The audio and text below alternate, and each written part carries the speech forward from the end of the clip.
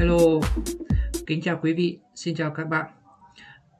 Ở video này tôi sẽ chia sẻ cùng quý vị cách để tìm kiếm và join vào một cái server trên cái mạng xã hội Discord. Rồi, quý vị ai chưa có tài khoản Discord, quý vị có thể đăng ký là discord.com. Quý vị có thể đăng ký trực tiếp trên web hoặc là trên app máy tính trên app smartphone đều có thể được.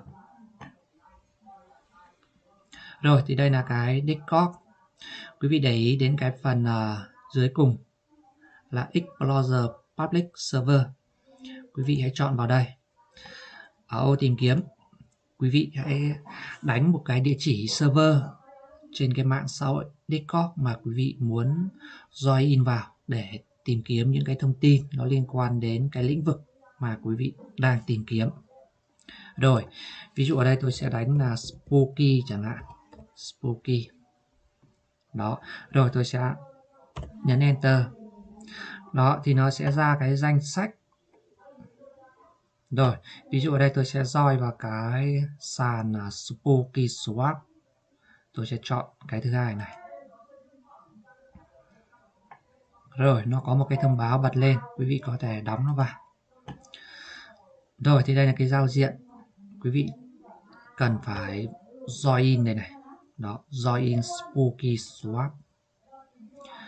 Quý vị hãy tích vào cái biểu tượng nó xuất hiện trên màn hình để xác nhận quý vị không phải là một robot.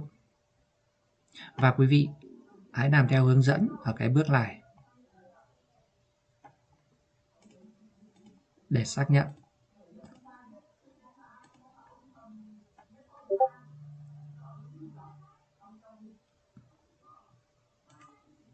Rồi, nó có một cái thông báo hiện lên, quý vị có thể đóng vào. Quý vị click vào commit Quý vị hãy kéo hết cái này lên và tích vào cái dòng I have read. Chọn tiếp vào submit.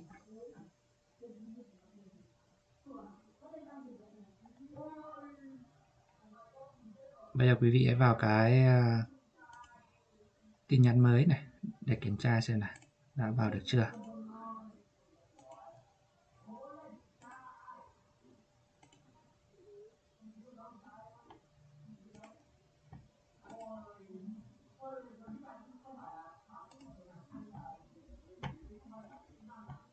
Rồi đó. Thì nó sẽ ra danh sách uh, các uh, group hoặc cái kênh ở bên cái cột bên tay uh, trái màn hình của quý vị là quý vị đã join thành công. Đó. Rồi và đến đây thì tôi xin kết thúc video này. Cảm ơn quý vị đã quan tâm và theo dõi video. Quý vị đừng quên đăng ký và theo dõi kênh để cập nhật những video mới nhất.